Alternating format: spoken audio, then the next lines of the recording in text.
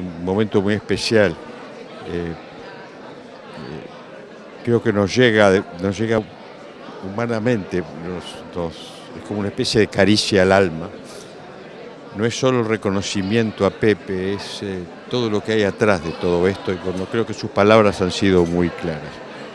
El, hacer una, este reconocimiento en este espacio, para Ninfa la Universidad República, es un espacio ciudadano, como decía Pepe, un espacio laico, pero que ha sido el escenario de todos los sueños y de, todas, las, y de todas las luchas por la libertad, la democracia en todos los tiempos.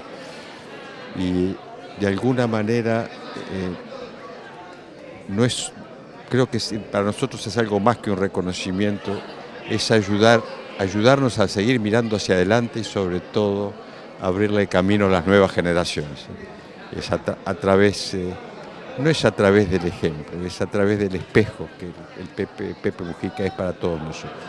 Es un espejo donde nosotros proyectamos, miramos, vemos lo más lindo que queremos ver, lo más lindo de, cada uno de nosotros.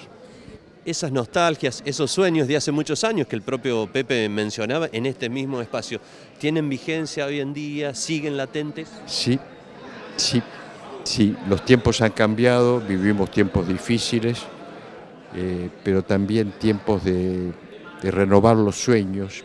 Cambió el mundo, sigue, cambia de manera sigue cambiando de manera vertiginosa y asoman las nuevas generaciones explorando, buscando nuevos caminos y eh, creo que el privilegio de los que somos más veteranos es poder compartir esos sueños, es soñar con las nuevas generaciones. La construcción, eh, muchos dicen utópica, de la patria grande, tiene un sustento significativo en lo que es la educación, se lo preguntamos como titular o ex titular de ese ministerio en la época de Mujica, a usted. Eh, sin duda, eh, la, patria grande, el proyecto regional está vinculado al nacimiento de nuestro país. No voy a entrar en detalle lo que fue el sueño artiguista que para nosotros sigue vigente.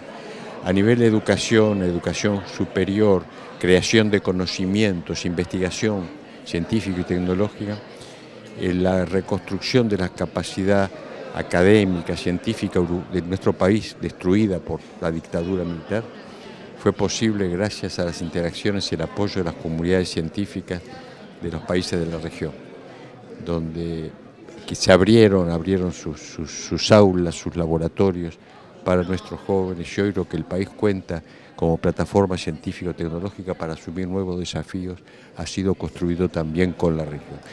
Y se mantienen vínculos regionales que permiten tener masas críticas sin los cuales es imposible mirar para adelante, asumir nuevos desafíos. O sea que integración regional, la patria grande, es importante en absolutamente todos los órdenes.